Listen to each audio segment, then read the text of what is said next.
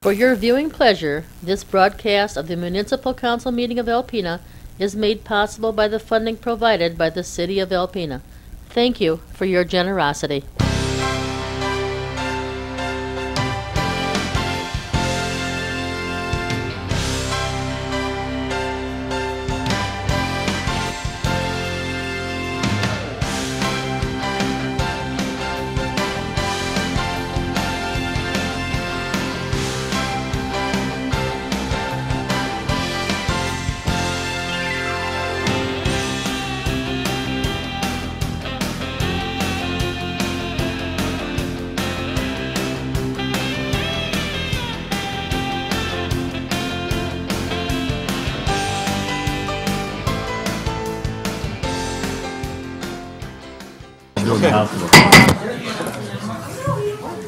Good evening. Uh, Welcome to Alpena City Council meeting of June 5th, 2017. Call to order, please. Johnson? Here.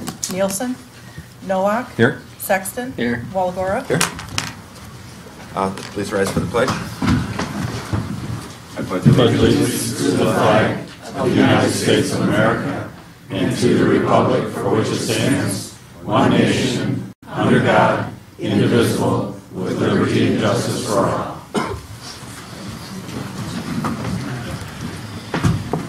Modifications to the agenda this evening? Have the opportunity to read the minutes from regular session of May 15, 2017, and closed session of May 15, 2017. Any changes? Citizens appearing before council on agenda and non-agenda items are invited to come to the podium to state your name and address for our records. You each have five minutes to address your concerns. This is the only time during the council meeting that you'll be allowed to address council with the exception of anyone here for open comment on the public hearing. uh, That's later in the meeting, but anything outside of the public hearing, please come up to the podium.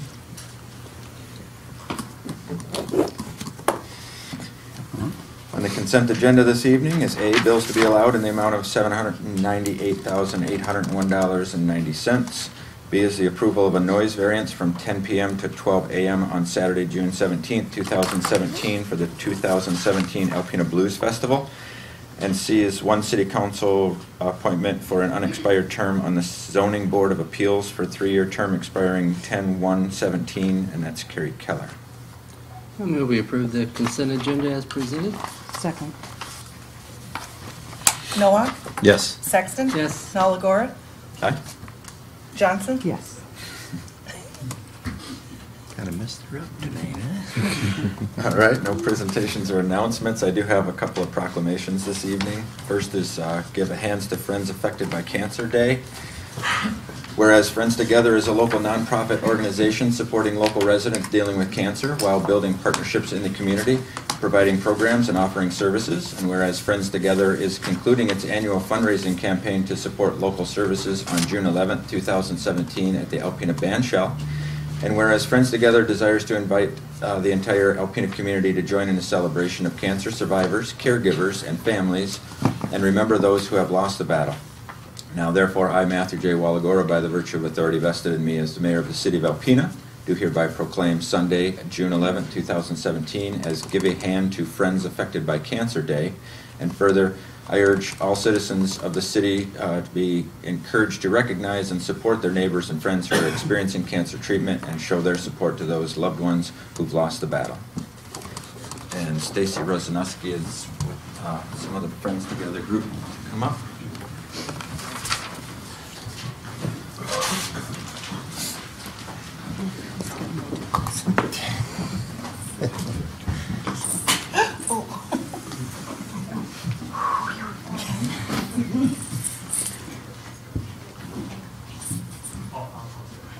First band.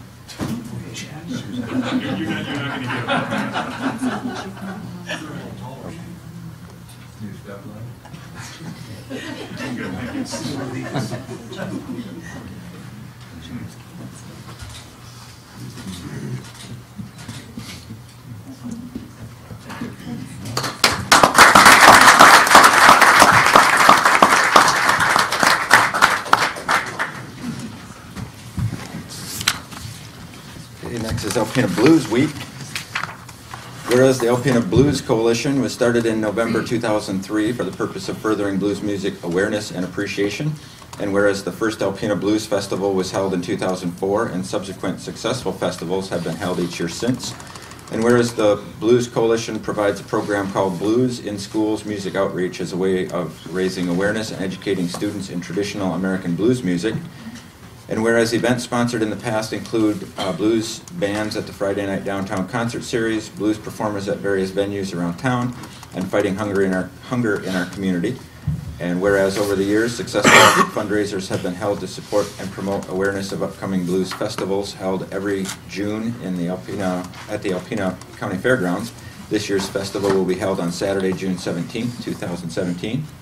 Now therefore, I, Matthew J. Waligora, by the virtue of authority vested in me as the mayor of the city of Alpena, do hereby proclaim the week of June 11th through the 17th, 2017 as Alpena Blues Week in Alpena, and urge all citizens to recognize and support the efforts of the Alpena Blues Coalition's 14th Anniversary Blues Festival.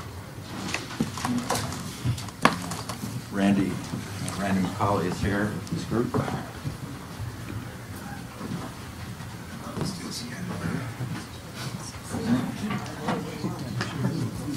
There he is. Just do some. I think he is, but we shouldn't worry about it.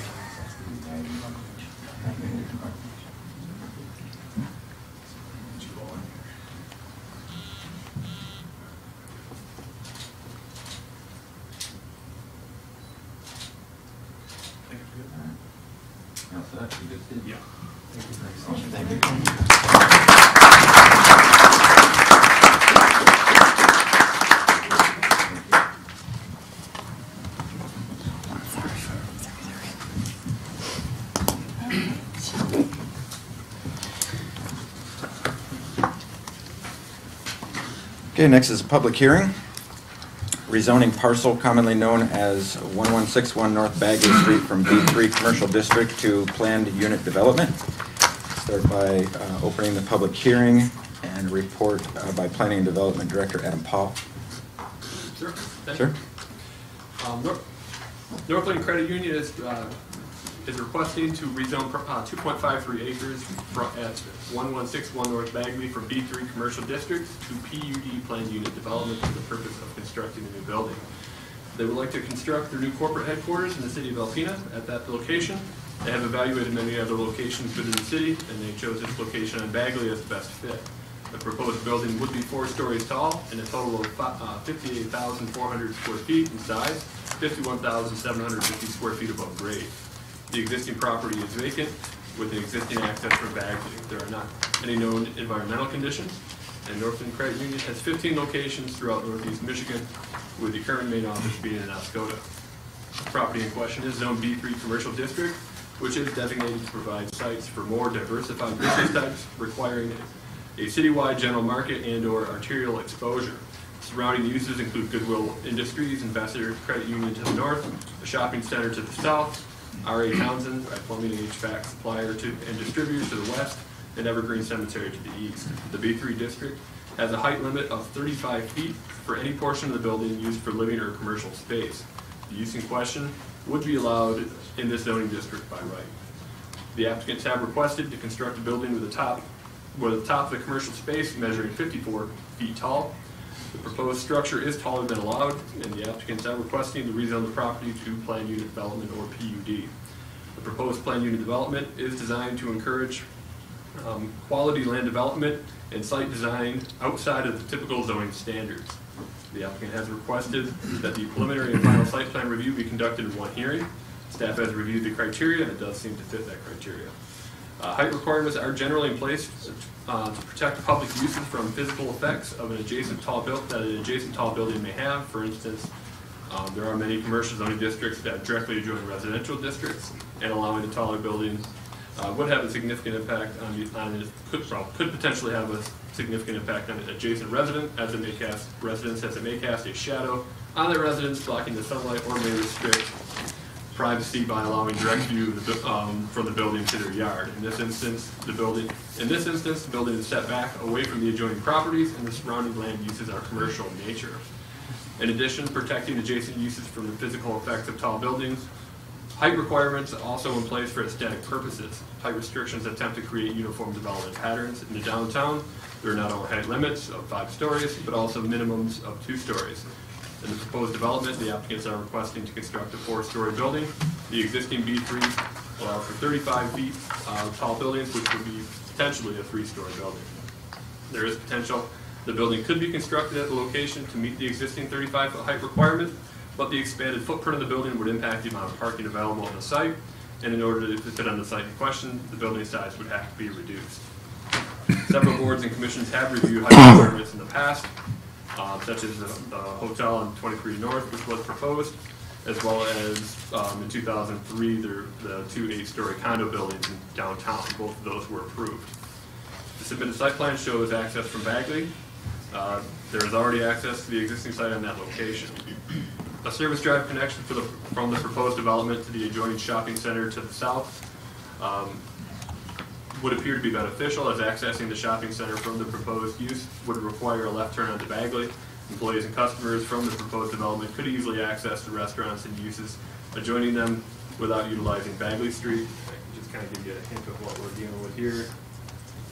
Here's the aerial view, here's the location we're looking at, here's the strip mall to the south, and Goodwill Industries to the north, and there's their existing drive, which would be shifted, I think, slightly north, not far.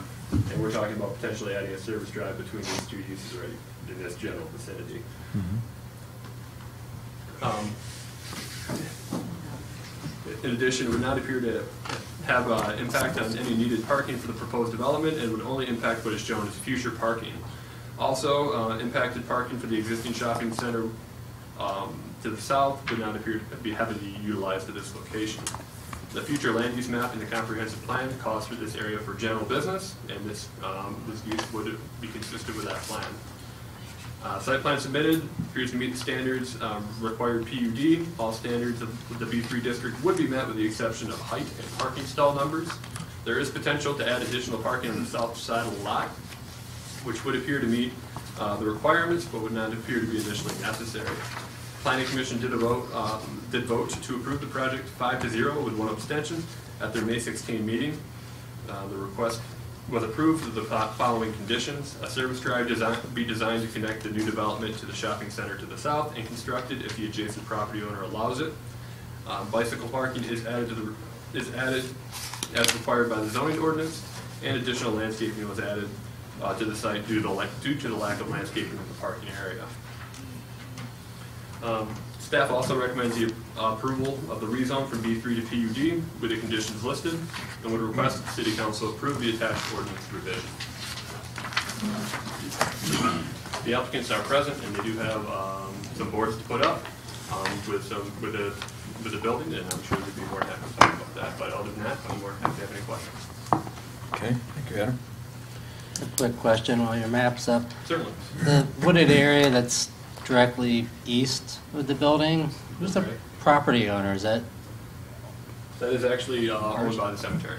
oh, it's part of the Yep, cemetery? we'll look utilized for that purpose. I'll open it up to public comment. Anyone that would like to? And I don't know if, um, I think what we'll do is ask you to be part of the council discussion. Does that make sense to you? Normally they Or have, is it public, uh, this now? is, they do their presentation, then you have anybody else. Oh, okay. Either So for. you're part of the presentation, so I guess Yes. that's now. Yes. Sorry. That'd be the presentation. So this is a public comment now? Not yet. No, Okay. no, it's not, no. That'll be after the presentation.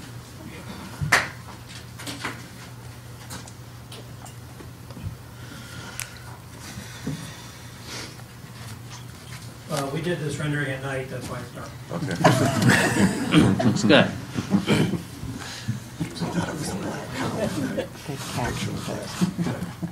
Been waiting to use that.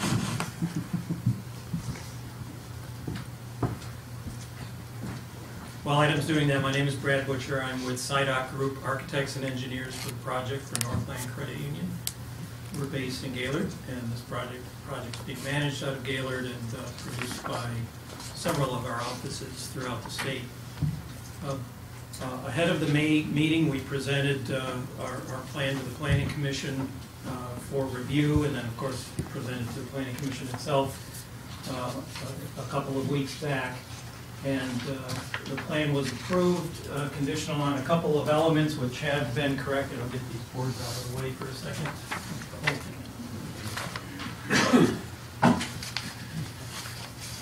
Um, Although it's not identified, there is a bike rack right here. Um, And secondly, the, the condition regarding uh, access from the shopping center to the south, it's certainly up for consideration. One of the challenges in- is in placing it. If we placed it where it might naturally be, where there's a two-way traffic aisle, we're concerned a little bit that our one-way traffic out of the drive-through on the north side of the building would have some interference by folks thinking they could continue on to uh, uh, Goodwill. Uh, The traffic around the building is one-way on that north side in order to meet stacking requirements, or have enough room for stacking requirements for the drive-through, and then the balance is angled parking in a one-way lane.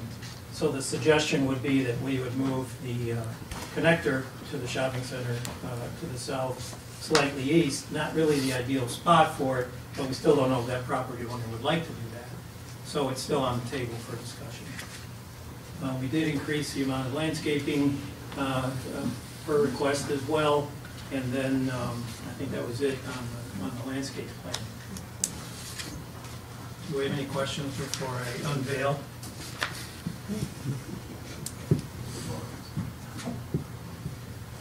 So, we submitted building elevations and some rough sketches as part of the PUD submittal, uh, but now we'd like to share with the community the um, renderings of the building. This is the view from the southwest, so we'd be coming in uh, the driveway here and looking along the south side of the building. Again, it's a four-story building, but it's not four stories everywhere. It does step from three stories up to four stories at certain points to accommodate um, some relief in the building height and perhaps some rooftop space on the northwest corner and southeast corner. Uh, The elements that in- that included, are included here for materials are glass, uh, masonry, some aluminum grill work to help shade that south side, and some aluminum sunshade uh, above the fourth story windows. Um, So that's our view from the southwest, looking northeast. This is the north side of the building. Again, you can see the third story is stopped for potential rooftop terrace up there, and then the drive-through is shown here on this view as well. Get a really nice sense of the scale of the building, and it's, um, uh, it's got, you know, some northern Michigan warm colors to it, which is nice.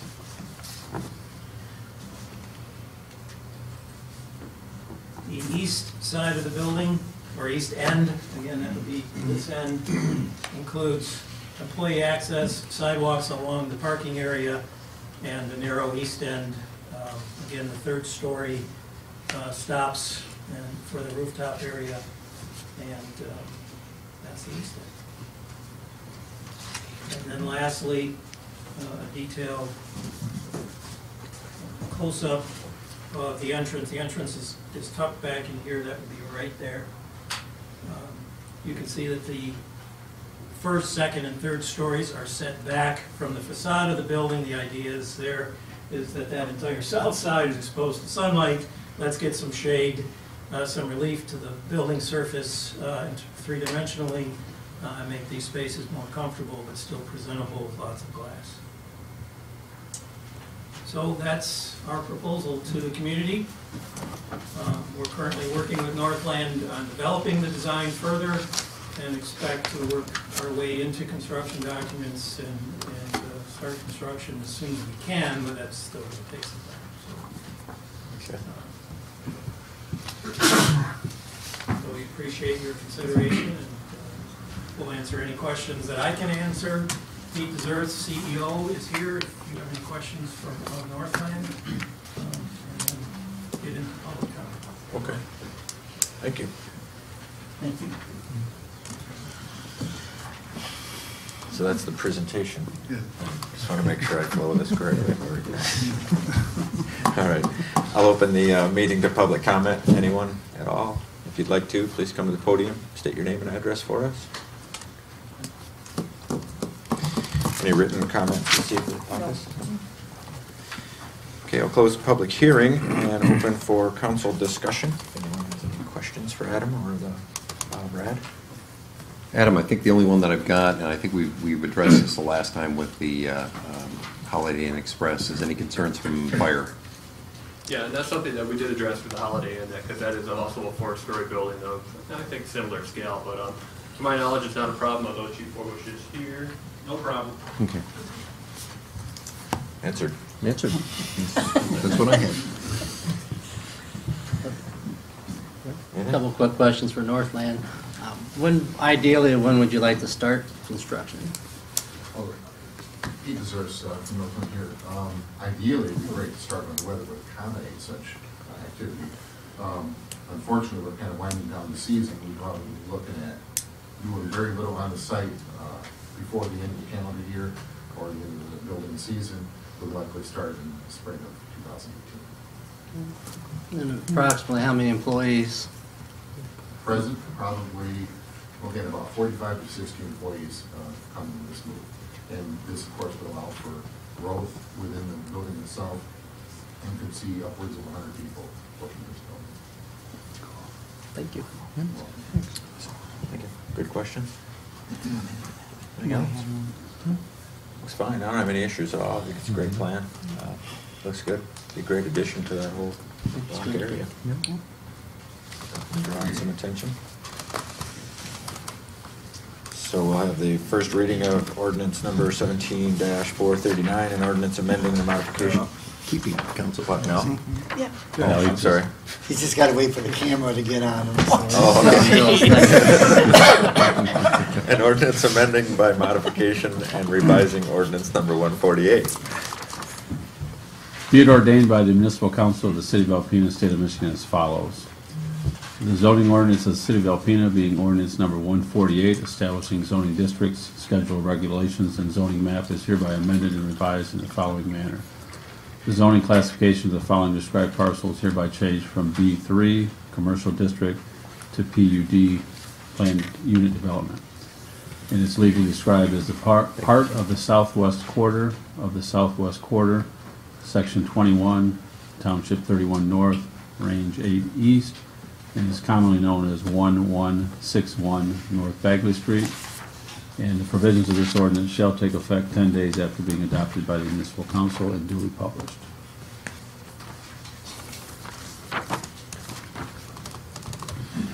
Very good.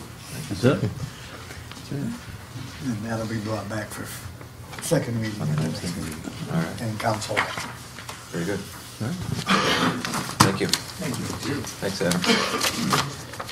Report of officers tonight is a bid, public safety facility copier.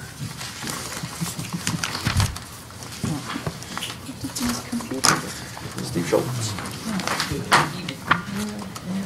Uh, On Tuesday, May 30th, the city received an open bids for the public safety facility copier. Bid specifications were sent to three vendors as well as advertised on the city website. We received three bids. Um, They are as follows, as shown on your, in the memo there. Um, We have your, when you have your, when you're uh, doing copiers and things like that, that have a maintenance plan, you usually evaluate the base bid of the machine, but then you also include in your maintenance because it's usually a 60-month maintenance plan, and the, the maintenance plan includes uh, all the toner that you use and any parts that you need along the way, and, and all that is, is paid for already in that maintenance plan, and it's per, usually per copy, per black and white copy and per color copy. And so we evaluated it that way when I, when I got the bids, and uh, the average color and black and white uh, pages were based on city hall usage and reduced by a factor of about fifty percent. Um, I don't have a good feeling of what they use at uh, public safety simply because we've got an older copier, we've got a color printer, and uh, another machine that kind of do all the work that this copier is gonna do. So um, I kind of had to, had to pick a number and- and went with it and just applied it across the board evenly to all the, all the machines. Um, The, the low bidder, while not the, the total cash price, um, but after you figure in the maintenance, the low bidder was Applied Imaging. Um, And they do have support staff within Alpena County, but it's based out of Traverse City. We'd be buying a machine out of Traverse City business, therefore, a local bidder's preference kind of kicked into, to play here. And we've got the local bidder, Miller Office Machines, was within seven percent uh, as established in our local bidder's preference. And they were contacted and given the opportunity to reduce their, their base bid by two hundred ninety dollars and fifty-four cents, which they happily agreed to do.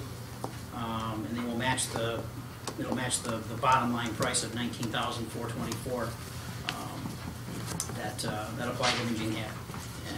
So they, uh, they agreed to do that, and that'll come off the base price, not the, not the contract price, because their, their maintenance prices have to stay the same. I mean, they can't kind of fluctuate those, but we just changed the base bid, uh, the base machine. So we have had previous experience with Miller Office, with the copier here at City Hall.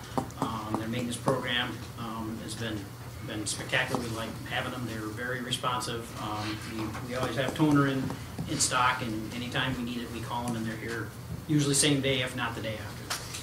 Um, So in consideration of the information presented above, um, I recommend as IT coordinator that the city approve the purchase of the copier and a five-year maintenance plan from the local bidder, Miller Office Machines, in the amount of thirteen thousand three hundred and forty-nine dollars um, for the copier, and then uh, the cost of roughly four cents per copy for color, and roughly, um, oh, it's like five tenths of a cent, or five tenths of a, uh, yeah, a cent for black copy, black and white copy for maintenance.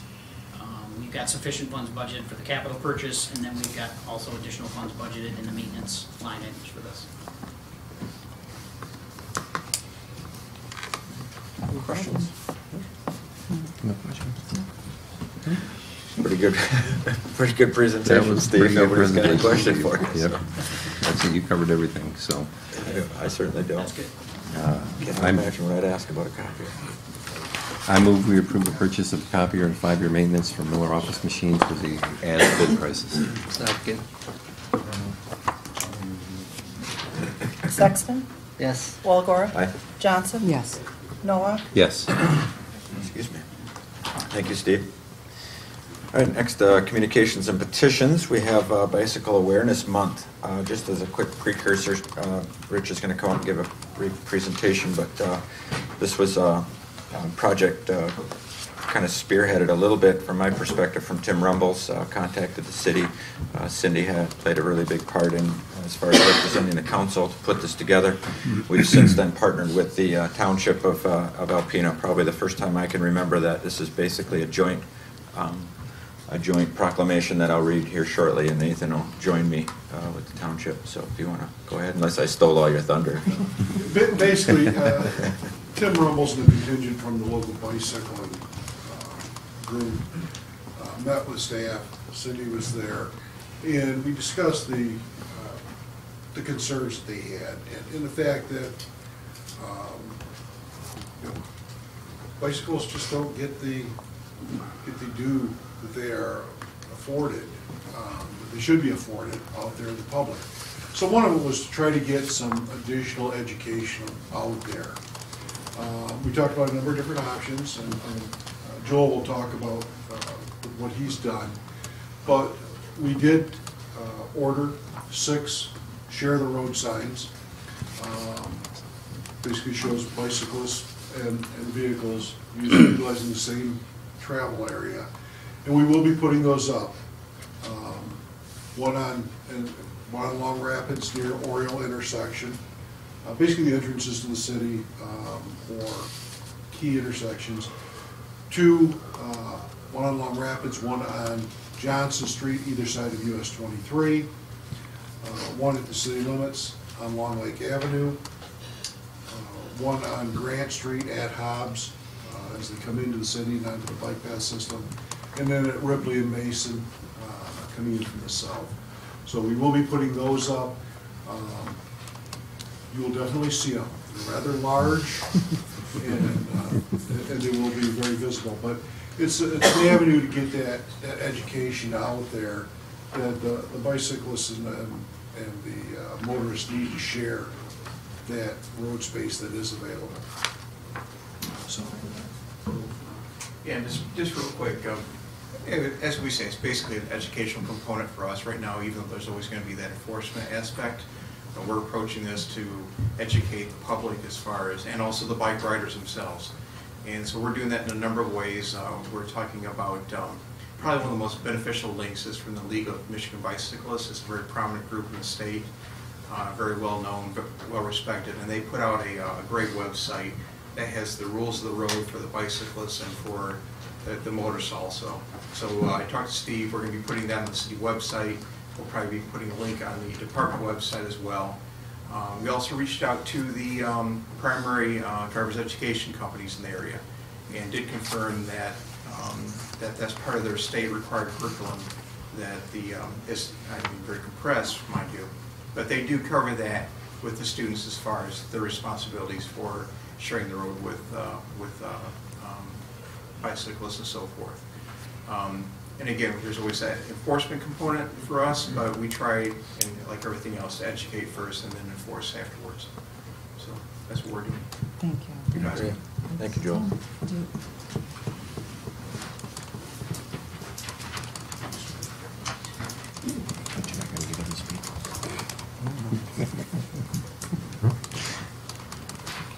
Tim Rumbles. First, I, I need to thank the city for their cooperation. And Councilwoman Johnson, I can't say enough for all that you've done to help bring this uh, to this point. And as a part of our hopes, the education is the biggest portion of this. And with, with the help of the city, it's going to be something that, you know, will certainly happen. So I'm very excited about that. You know, some of the things yet to come, you know, those, those are on the table, but uh, what we're accomplishing here today, we're very grateful for. Thank you. Thank you. Great. Thank you, Tim.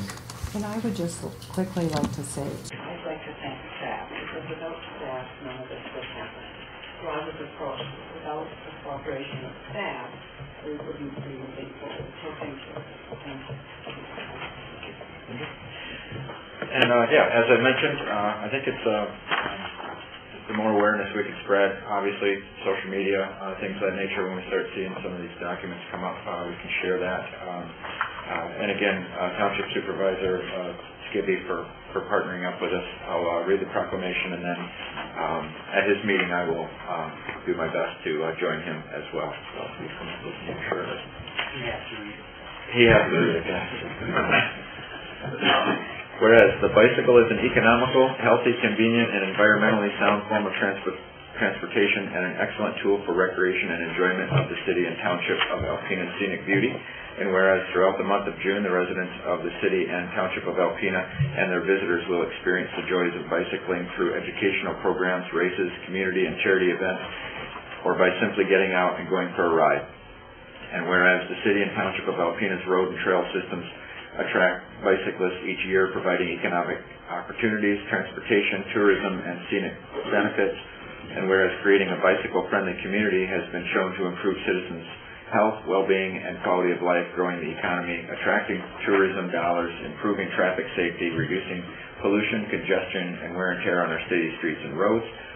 And whereas local organizations, including the Northeast Michigan Cycling Coalition, Alpena Area Chamber of Commerce, Alpena Convention and Visitors Bureau, Parks and Recreation Departments, police departments, and civic groups will be promoting bicycles, bicycling during the month of June 2017. Whereas these groups are also promoting bicycle tourism year-round to attract more visitors to enjoy our local restaurants, hotels, retail businesses, and cultural and scenic attractions.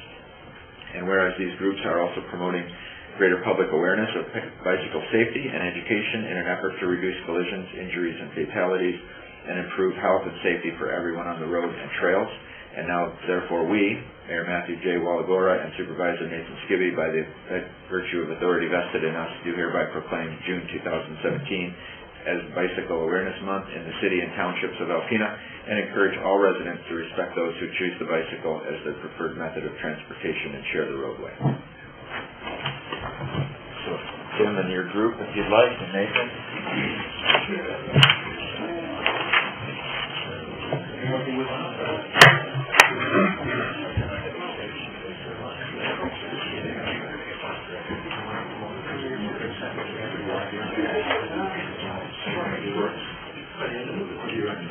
Yeah.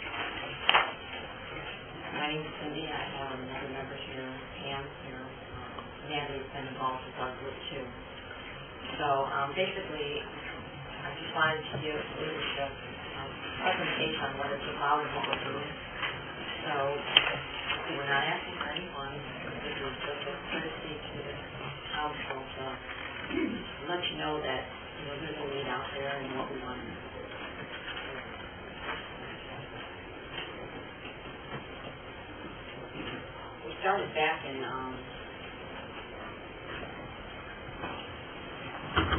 two thousand, we started in two thousand. And now we're, we started in two sixteen, a lot of groups of people together to, to try to address the fact that, um, when you're working in a shelter, and a couple of volunteered at shelters, and you just get inundated with kittens and kitten season and unwanted cats and stuff like that. And we do know that trap, neuter, and return is a nationwide initiative. And it, um, there's, um, basically it's just talking about, you know, the humane way to, um, take care of feral cats or stray cats. Basically, we're talking about the area where we're at, which includes any outdoor cats that are roaming that are not fed. So, northern Michigan would also include barn cats. So, um, what we do is we trap them, we get them into the nest, we, on our board, we capture three Alpena nuts on the board, and I get them on the slide here. Um, they will, at a reduced rate, will spay or neuter them, clip their ear, and then we return them out there so they cannot reproduce. So that's basically all it is. We're, we're going at this from twofold. We're teaching people how to take care of the cats that they own themselves, cats and barn cats or outdoor wandering cats. And then there's a group, what we're calling phase two, where we need to go after cats that are not owned. And that's where the issue comes in, where we need money to do that. We're planning on doing some fundraising and some grants and stuff like that, donations. So we'll be putting donation buckets up on store. But it does improve their lives. Um, seen where cats have been able to socialize better and breed health. It actually goes into great detail. for you. Most owned cats are taken care of. People will say when they rid their cats, they keep them inside, or they them go indoor, outdoor cats. But basically, the community of cats that are out there that either people can't afford to get the picture, or, or say they move out and they don't take the cat with them, and then it's out in the street, and those cats depopulate. And there's very few of them that are sterilized, and that causes an influx to our shelters every year for cats that are coming in. And a lot of shelters get cats that are not rehomable either. You know, they're just not friendly. They have not been socialized. So, you know, you don't want to, most people won't participate if you know you're going to euthanize them. But if you sterilize them and you release them, they're like a raccoon or squirrel, they live their life out they don't reproduce, and they diagnose them. There's been a, a statistics out there, um, over a three-year period that shows the intake has, has dropped, information has dropped. And I have another one here. And what, we think we can do this also. Kentucky, it's dropped fifty-one percent of intake. So that's just some nationwide information.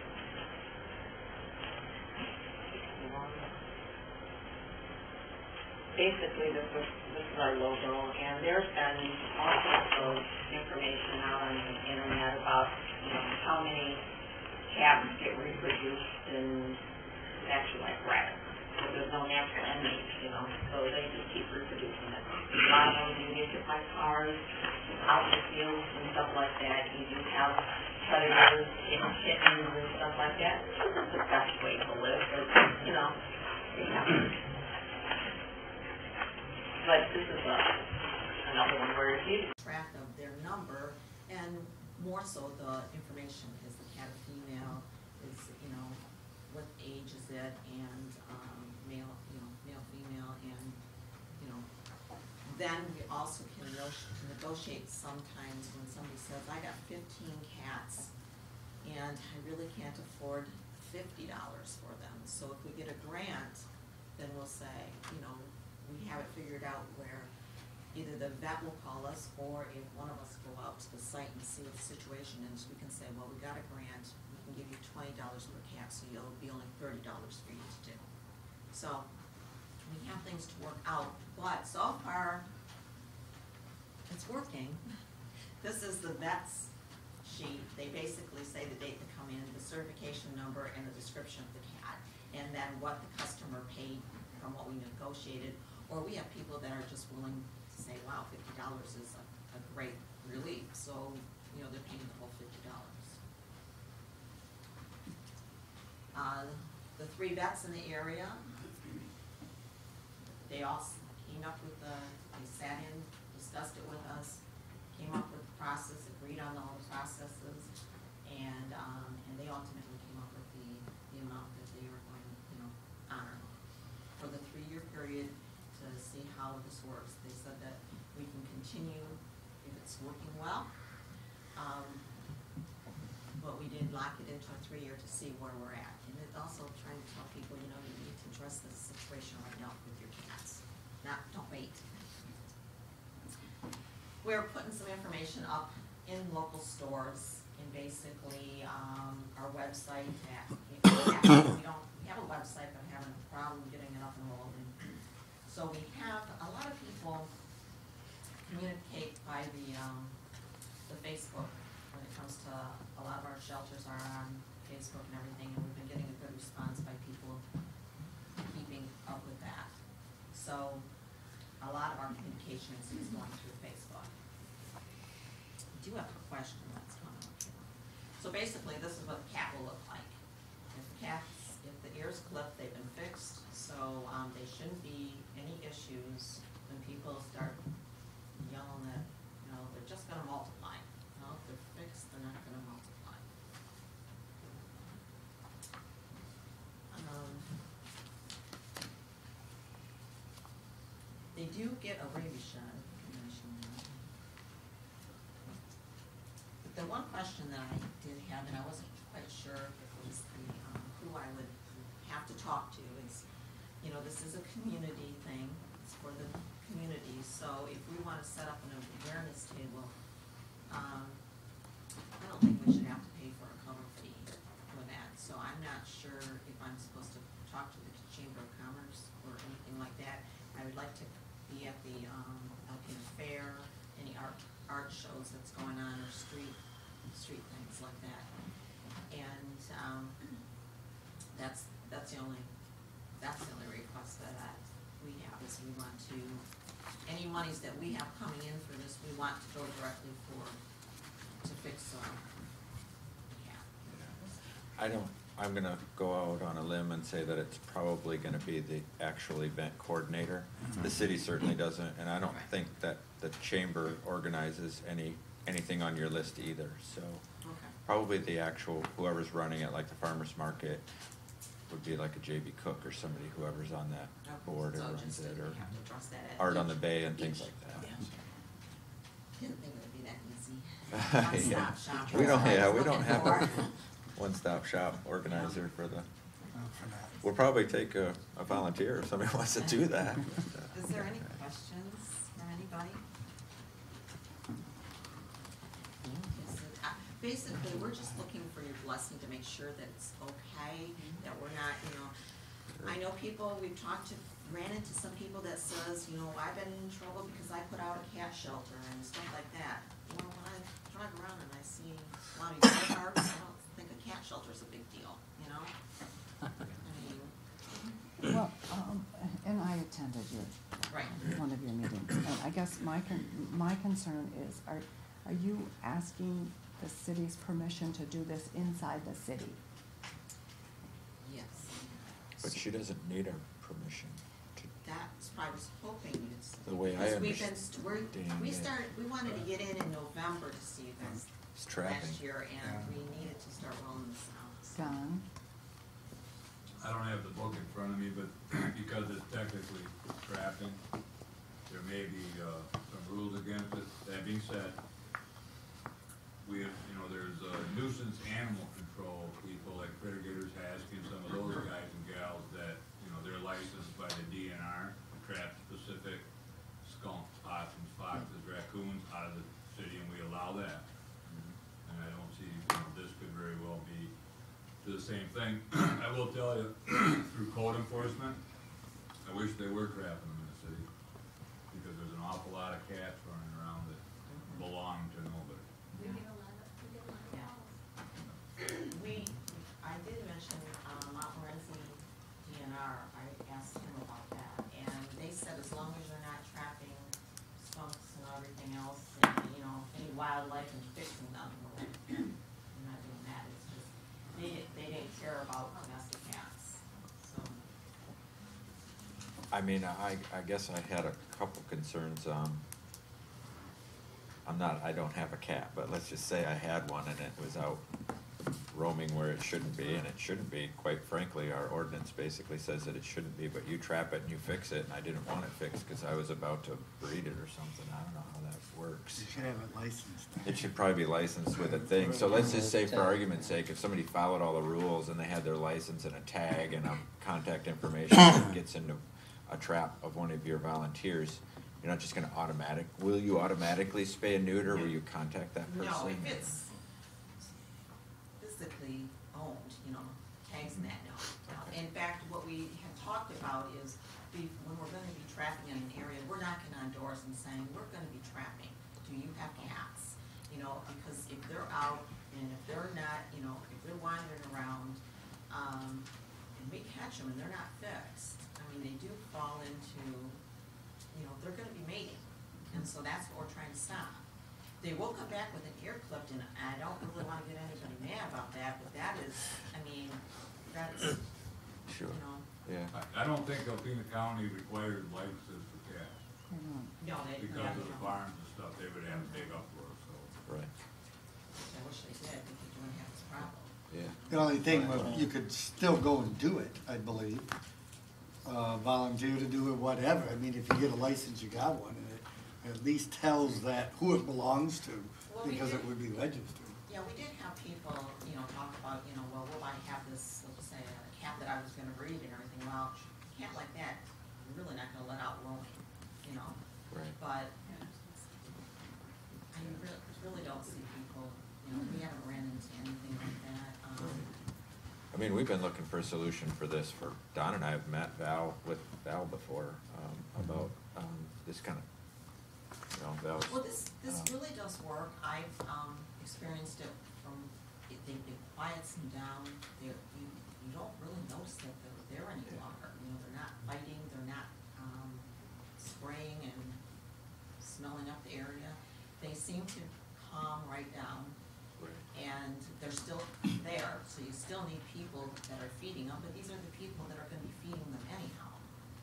So, and then they just live out their life. We've brought some into the shelters where we thought we could rehabilitate them and find them a home for them. Well, you can't. You know, they're, they're like a raccoon, or they haven't had any socialization, and they're just, they actually do pretty well on their own, as long as we stop them from multiplying. Okay. I would uh, suggest, Mr. Mayor, that we uh, maybe refer it over to the city attorney or to the building inspector to re- review the ordinance and get back to us with a- an opinion. Um, I think that'd be fair enough, just in the event, because I can't say that I know all the policies and ordinances concerning trapping animals, so. I do believe we need to, I need to get a hold of the, um, county council also and do a presentation for them because, you know, it is, some of these places that are contacting us are actually not in the city, they're in the county, so. Right. And if, yeah, and if Bill wants to let us know, and then ag- again, Okay. because we're in the county, I don't know if they had anything that supersedes us or how that works, but it sounds like a, sounds like a pretty good solution if, if there aren't any issues that we can't take care of. And the Humane Society is, um, there's no issues with how, how you're No, operating? Very aware, much aware of what we're doing. I assume so? Yeah. So, Mhm. Very much aware. okay, great. Well, we appreciate it, and, uh, I think where we'll leave it is, uh, Bill will come back with a, somebody will contact you when Bill comes back with his opinion on that. Hmm. Great, thank you. Thank you. Thank you. Is that okay with you? Yeah, I Okay. said within two weeks, so basically next meeting you Okay. Mm-hmm. Do you issue that. Do a motion in a second oh, on that? Oh, on want the an action direction, item on on the it? direction for Bill? Yeah. Yeah, authorize the tr- city attorney. And Okay. then So moved. report back at the next Second. meeting. Waligora? Aye. Johnson? Yes. Nowak? Yes. Sexton? Yes. All right, thank you. Uh, next up is new business, a rental agreement with the canoe and kayak services at Duck Park. Rich? Uh, About four years ago, Aaron Rifel um, began operating a canoe and kayak rental operation. I think she expanded into some other activities. Uh, But there was not under an agreement with the city of Alpena uh, within the duck park. Uh, She just this spring notified me that uh, she could no longer operate this rental operation due to other commitments. I think some small children take up your time, so. But she did, she did a wonderful job. He was always uh, very cooperative throughout that, um, that rental agreement. Um, The city had two potential operators approach us about continuing the operation. During the discussion um, one of the operators elected to withdraw from consideration. Um, Performance Locker has worked with the city. Uh, We've met with them and discussed it with them, emailed back and forth some uh, variations on our rental agreement to develop the attached agreement and is working under a conditional, we're working under a conditional up until, if council approves tonight, to allow them to operate over the Memorial Day weekend. So uh, Greg and I met and discussed it, and then Greg did write a letter uh, authorizing them to do that, provide that service. The agreement is basically the same as the one executed with Aaron Ripel, but does include the potential for them to install a storage building in the future, and that would be with oversight of the city. um, you know, Condition, quality, appearance, et cetera, so that we would get a quality looking structure down there. Uh, It's my recommendation to city engineer that the city council authorize the attached agreement with Performance Locker to allow them to rent canoes, kayaks, et cetera, out of the duck park. And, uh, Or the duck Duck- Dark park. Dark Park? Dark park. We're- we're doing- Spell check is a wonderful thing. We're gonna do And a the dark- Stutzmans are both here. We're doing dark skies as well. have any Mary. Beth is the dark sky proponent.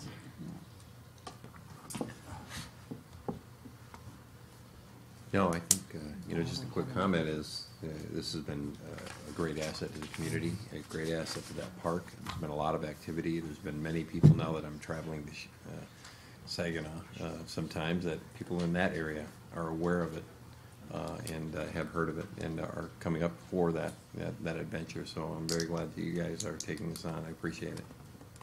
We, when we heard that Aaron was um, no longer able to do it, our first thought was, it would be great if someone could take that over because it has become a staple in the community. And to lose that or ha- even have a gap in service would mean that the next person would have to s- completely start over from scratch. You would lose all that recognition and, and have to start over. So, um, we really feel like we're just carrying on what she started. And we're doing it more of, um, more from the perspective of providing the service to the community and to the visitors. Um, when we, when we do the numbers, it'll pay for itself, but it's not going to make anyone a million dollars. Mhm. Um, but it is a critical thing that I think that as we continue to grow as an outdoor asset, um, based community, it's, it's, it's extremely important. So we, we thank you for entertaining the idea that someone, us, um, could carry that on. And, and they've, uh, the Stutzmans have been super throughout this whole process and, and trying to make that flow continue throughout, um, this year. We appreciate that you want to do it, so uh, it is a good community asset. Yeah, I think it's fine. Um, I had, uh, and still have a bit of concern with the building. Um, I talked to the Stutzmans about that, um, and, and they're probably the best, um, stewards of that type of thing as far as being aesthetically pleasing for the new bridge and the park and things of that nature, so I'm sure when that, uh, when that, uh, arrives, we'll come to some, some agreement on what might look best there, so. We, uh, we have some options we've been looking into that we'd like to, at some point, when it's appropriate, share with council or Rich or the appropriate, uh, entities. Also working directly with the sanctuary park that kind of helps manage the aesthetics of their area. We want it to be something that's not gonna take away, but add to. Um, our primary goal for looking into that is just from a logistical and business operations standpoint. It would make it easier for us to carry out operations there and potentially offer more rentals, more times, more areas, and just better serve that segment of the community. Sure. Thank you, Casey. No problem from you. Move we approve the agreement between the city of Alpena and the Performance Locker as presented. Second. I think she won. She got me. Wow. Johnson? She's Yes. quick. Nowak? Yes. Sexton? Yes. Waligora? Aye. Thank you.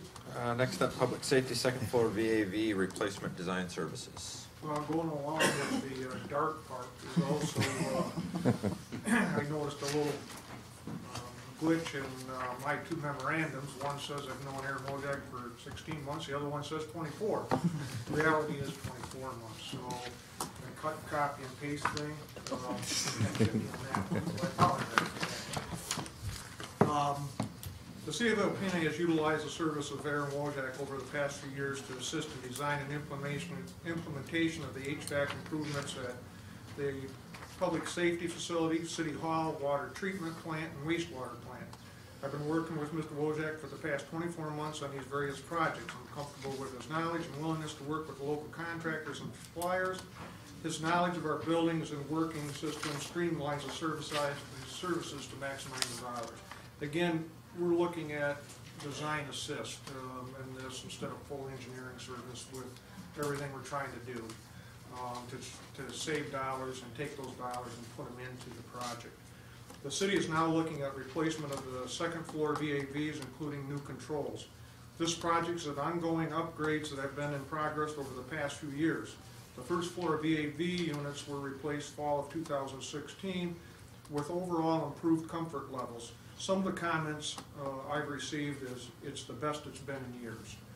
Um, The attached proposal outlines the project scope uh, with the most noteworthy, the sleeping quarters for fire EMS. This, this area has been problematic with comfort and the individual cubicles.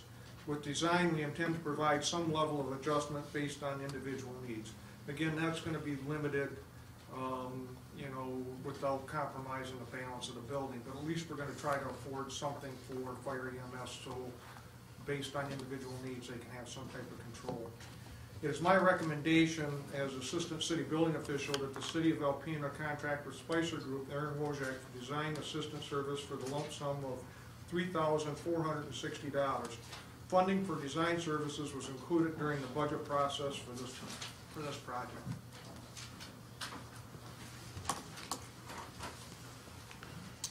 Mike, uh, just a couple of questions if I, if I may.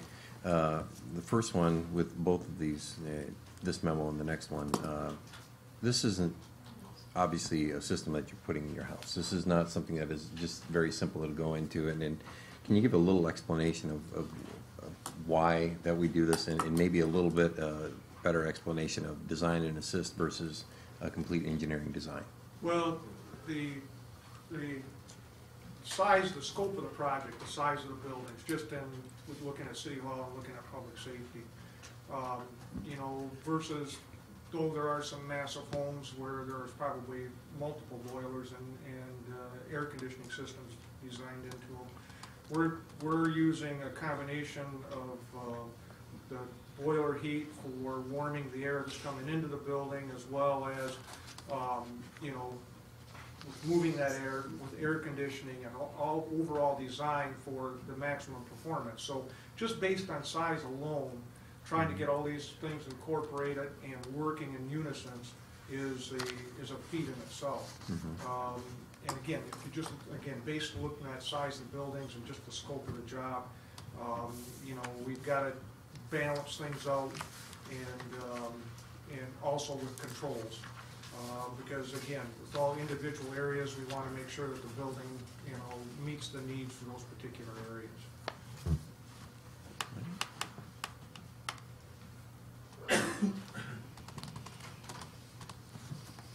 I don't have any questions. Thank you. Go ahead.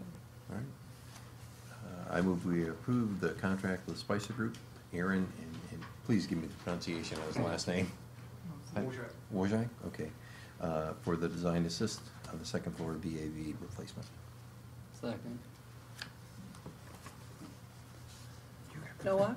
Yes. Sexton? Yes. Waligora? Aye. Johnson? Yes. Okay, Mike, you're gonna stay here for the City Hall boiler design services. Okay, and essentially the first paragraph, unless you'd like me to read the whole thing, I could just leave that one out. Is it a second reading? I appreciate that. Um, As your boss. Um, Again, we're working with Aaron Wojak, Spicer Engineering. The city is now looking at the boiler replacement and the hydronic hu- upgrades at City Hall, which are needed as the existing boiler was installed in 1998 and has already exceeded its life expectancy. Currently, some of the existing system is frequently supervised to provide adequate comfort in various areas of the building. The attached proposal outlines the scope and design services, with most noted that there will be, we will be installing two high-efficiency boilers. Right now, we're served by one. This is allows better efficiency and continued service uh, should a failure occur, occur in one of the boilers. Uh, It is my recommendation as Assistant City Building Official that the City of Alpena contract with Spicer Group, Aaron Wojak, for design assistance services for the lump sum of six thousand six hundred dollars. Sufficient funding is available in the City Hall bu- building, excuse me, building fund. No question. And again, uh, uh, Mike, is the, the scope of the job. City Hall has a couple of extra dynamics. We've got baseboard heat units as well as makeup heat for our air, handlers. We do have some issues with our zone valves, and so it's a constant, uh, and our control system is, uh, I think like I said once before, and I'm probably gonna date myself a little bit, uh, you know, Atari versus Xbox, um, is where we're at with our control system, so. Um, So that's gonna, you know, also be part of that, along with the AV, our HVAC system we're upgrading, so. All right, thank you. I was just gonna ask you what Atari was. I don't know. So we're all too young for that. As I recall, Mike was really good at that. I remove, I move we approve the uh, design assist contract with Spicer Group, Aaron Wozak, for boiler replacement in the amount of sixty-six hundred dollars. Second. She's quick. I know. Did it the last. Sexton? Yes. Waligora? Aye. Johnson? Yes. Nowak? Yes. Thank you, Mike. Thanks, Mike. I move we adjourn to closed session to discuss the city manager's evaluation and water sewer litigation. Second. Waligora? Aye. Johnson? Yes. Nowak? Yes. Sexton? Yes.